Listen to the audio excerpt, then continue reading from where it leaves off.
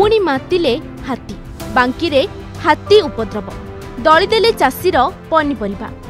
Cuttack Dompada block ଅନ୍ତର୍ଗତ ଭଗିପୁର ପଞ୍ଚାୟତରେ ହାତୀପଲ ପ୍ରବେଶ କରି ବ୍ୟାପକ କ୍ଷୟକ୍ଷତି ଘଟାଇଛନ୍ତି।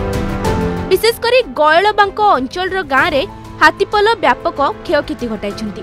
ଆଠଗଡ଼ ଚନ୍ଦକା ଅଭୟାରଣ୍ୟରୁ ଏହି ହାତୀପଲ ଖାଦ୍ୟ ଅନ୍ୱେଷଣରେ ଗାଁକୁ ଆସୁଥିବା ବେଳେ ଆଉ ଫେରି ପାରୁନାହାନ୍ତି ଫଳରେ ଗାଁର ବିଭିନ୍ନ କ୍ଷେତ୍ରରେ ପନିପରିବା ଖାଇବା ସହ ଦଳି ଚକଟି ନଷ୍ଟ କରିଛନ୍ତି। ଯାହାକୁ ନେଇ ଚାଷୀଙ୍କ ମଧ୍ୟରେ ଅସନ୍ତୋଷ ଦେଖାଦେଇଛି। ଆରେ ଆମେ ଗରିବ ଲୋକ କରଜ ଦାମ କରିକି ଫସଲ କରିଥିଲୁ କୋଡ଼ିଏ ତିରିଶ ଗୁଣ୍ଠ ଖଣ୍ଡେ। ତାକୁ ହାତୀ କୋଡ଼ିଏ ପଚିଶଟା ହାତୀ କାଲି ପାହାନ୍ତା ରାତି ଚାରିଟାରୁ ଆସିକି ପଶିକି ସବୁ ଖାଇକି ନଷ୍ଟ ଫଷ୍ଟ କରିଦେଇଛି। ଆମେ କିଛି ବି ଏଥିରୁ ତୋଳିନୁ। ଏବେ ଯେଉଁ ସାହୁ ମହାଜନ କରିଛୁ ଆମେ କେମିତି ତାକୁ ସୁଝିବୁ? ପିଲା ଛୁଆ ସଂସାର ଗରିବ ଲୋକ ଆଜ୍ଞା।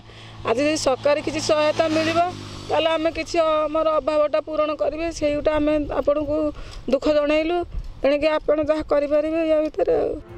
ଏପଟେ ଢେଙ୍କାନାଳରେ ଦେଖିବାକୁ ମିଳିଛି ସମାନ ଦୃଶ୍ୟ। ସଦର ରେଞ୍ଜ ଅନ୍ତର୍ଗତ ମେରାମଣ୍ଡାଳି ସେକ୍ସନ ବାଙ୍ଗୁରିସିଙ୍ଗା ଗାଁରେ ହାତୀପଲ ବ୍ୟାପକ କ୍ଷୟକ୍ଷତି ଘଟାଇଛନ୍ତି। ଏକର ଏକର ଫସଲ ନଷ୍ଟ କରିବା ସହ ଘରଦ୍ୱାର ଭାଙ୍ଗି ପକାଇଛନ୍ତି। ଯାହାକୁ ନେଇ ତାତିଛନ୍ତି ଚାଷୀ।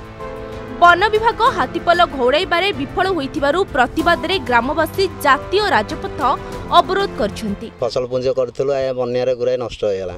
ଏବେ ଏଇଠି ଆଜ୍ଞା ଫସଲ ପୁଞ୍ଜ କରିଛୁ ଯେ ଟମାଟୋ ବୁଦ୍ଧି ବିନି ଆଜ୍ଞା କରିଛୁ। ଏଇଠି ଆଜ୍ଞା ହାତୀ ଆସିକି ଖାଇ ପିଇ ଦଳି ଦଳା କରିଛି ସବୁ କୁଦା କୁଦି ଦଳା ଦଳି କରିକି ଆଜ୍ଞା ସବୁ ନଷ୍ଟ କରିଦେଇଛନ୍ତି। କ'ଣ କରିବୁ ଆଜ୍ଞା ଘରଜ କରିକି ଆଜ୍ଞା ପିଲା ଛୁଆ ସଂସାର ଘର ଘର କରିକି ଚଳିବୁ ଆମେ ବନ୍ଧା ସନ୍ଧା ପକେଇକି ଆଜ୍ଞା ଫସଲ ପୁଞ୍ଜେ ଡୁଙ୍ଗିଥିଲୁ।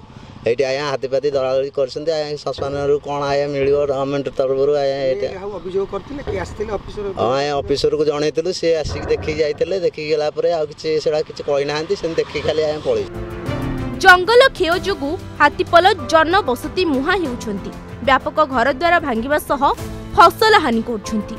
ଅନେକ ସମୟରେ ହାତୀ ଆକ୍ରମଣରେ ମନୁଷ୍ୟର ମୃତ୍ୟୁ ହେଉଥିବା ବେଳେ ମନୁଷ୍ୟ ଆକ୍ରମଣରେ ବି ହାତୀ ଜୀବନ ଯାଉଛି ବ୍ୟୁରୋ ରିପୋର୍ଟ ଅର୍ଗସ୍ ନ୍ୟୁଜ୍